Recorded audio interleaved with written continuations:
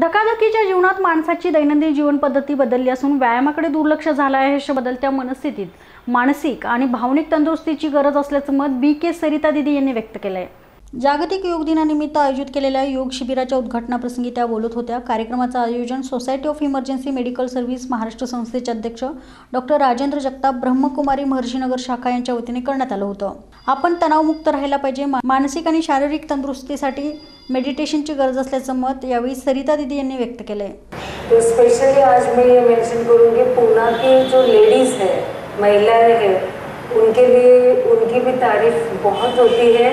इसलिए होती है कि वो काफ़ी दिमाग में भी तेज होती है, लेकिन वो अपने आप की हेल्थ का भी बहुत ध्यान देती है।